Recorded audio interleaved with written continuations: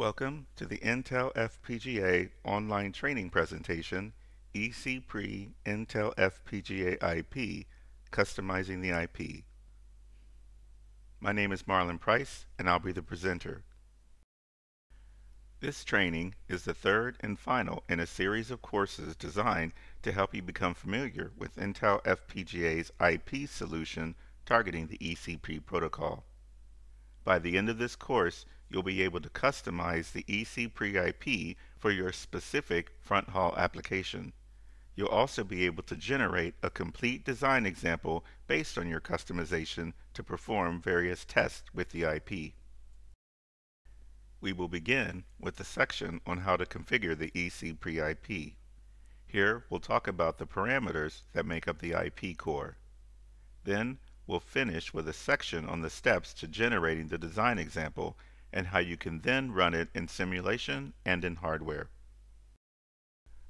Like the other trainings in the series, this training assumes that you have a good understanding of the ECP protocol as again we won't have any time to go into these types of details.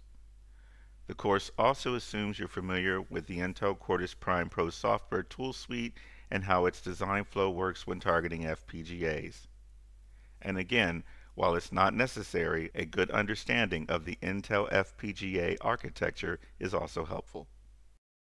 If you have further questions on the 3GPP or eCPRI spec, here are some links to resources. This includes links to the eCPRI Intel FPGA IP user guide and the design example user guide. So let's start with configuring the IP. The eCPRI IP Parameter Editor is the tool within the Quartus software that lets you customize an instance for your design using all of the configurable options available in the IP. The parameter editor is found in the IP catalog in both the Intel Quartus Prime Pro software and Platform Designer. Located under Interface Protocols and then eCPRI, or you can just type eCPRI in the search field at the top. Double-click to open the parameter editor. All configurable options currently available for customizing your IP instance are found on the General tab in the GUI. At the top, select the transceiver tile to which you plan to connect the IP.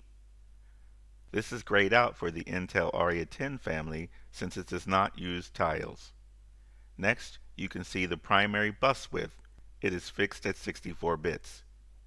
Further down, you can indicate measurement type for eCPRI message 5 delay measurement either off, one step, or two step. Below the FIFO depth settings is an option to enable advanced mapping mode.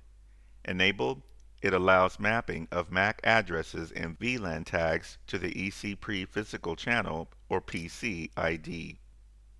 Below that, you can see the option to enable pairing with an ORAN IP core. This enables an extra interface as mentioned in the prior architectures and interfaces training. At the bottom of the screen capture, there's a streaming option. It is grayed out because pair with ORAN is enabled. Enabling streaming lets you control the maximum Ethernet frame size.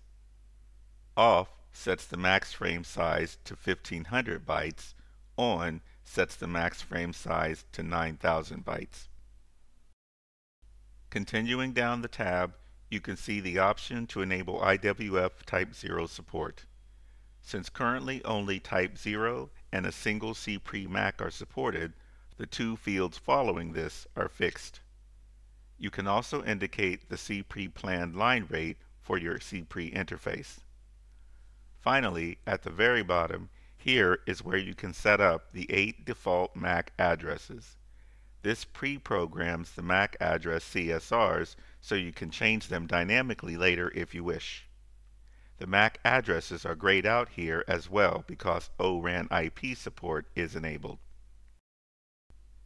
If you have any questions on any of the fields in the parameter editor and you want to quickly look up the meaning, the Details tab to the right is a great resource for a quick reminder.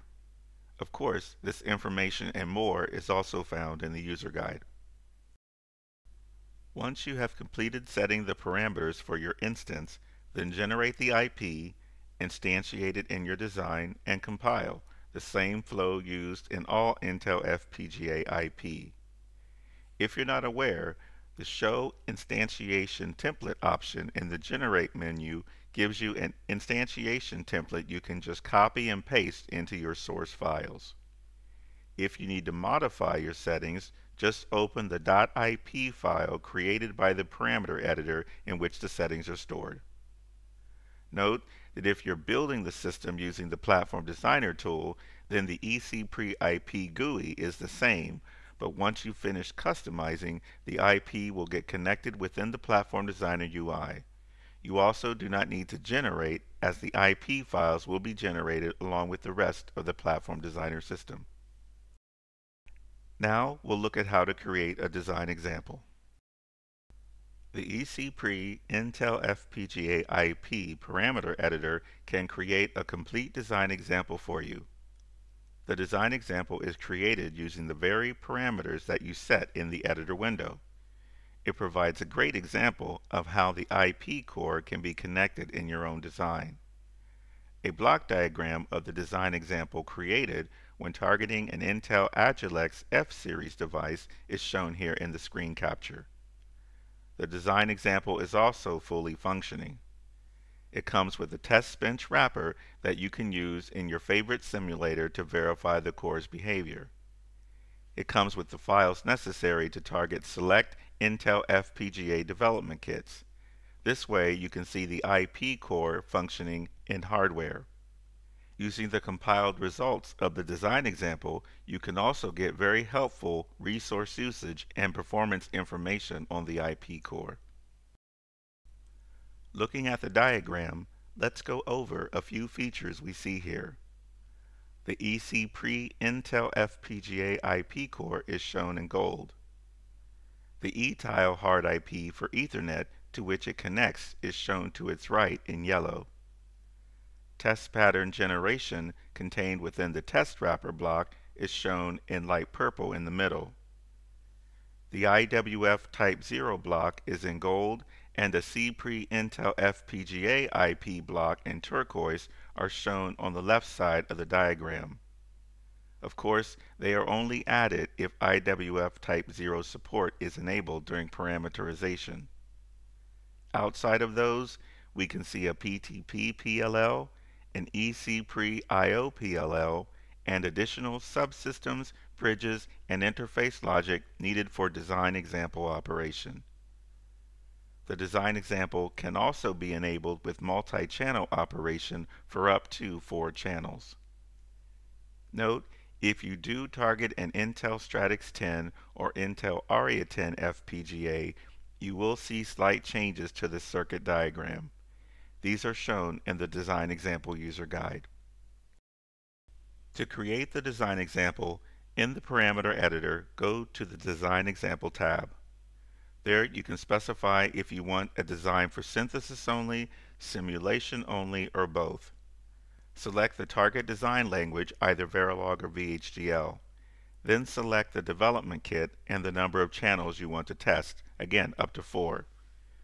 Choosing a development kit means the design example will be generated with the right target device, device pins, and any other necessary hardware constraints set for you. If you select none, you'll still get the design example, but you must manually assign pins and set any of those other constraints. Once generated, the design example can be used in several ways. You can run a simulation to review its behavior. Simulator setup scripts are provided for popular FPGA simulation tools.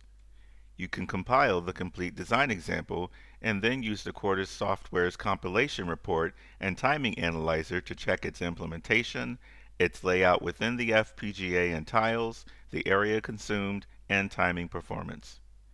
Then you can program the FPGA development kit with the compiled design.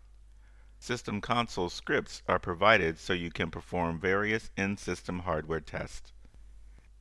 Please see the design example user guide for more details and instructions on performing these tasks.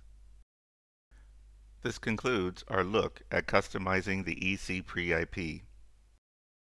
After viewing this training, you should be able to use the Parameter Editor tool to customize your implementation of the eCPRI Intel FPGA IP. You should also be able to generate an example design to test your customization in simulation and in hardware as well as view the results of its compilation. All of this greatly accelerating the development of your own application when using this IP. Intel provides multiple avenues in which to learn about Intel FPGA products. There's the Intel FPGA YouTube channel, which contains 5-minute quick videos along with longer, more in-depth training videos. There's the Intel FPGA training website, where you can access e-learning courses made up of narrated slides presented in an interactive player, some courses even with labs and demos. Lastly, you can enroll in a live instructor-led course presented either in person at an office local to you or virtually over the web. All instructor-led courses have hands-on lab exercises to practice the concepts you learn. If you need more assistance, Intel FPGA provides many self-help resources for you to access. For example, there are web pages called landing pages dedicated to specific FPGA technology like external memory interfaces and high-speed protocol interfaces. You can also view and post questions to the community forum, which is monitored by skilled Intel FPGA applications engineers.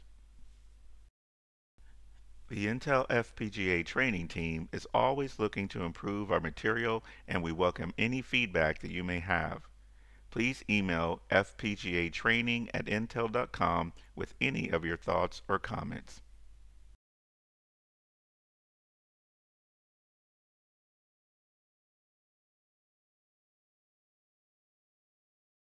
This concludes the training. Again, my name is Marlon Price. Thank you for attending and have a good day.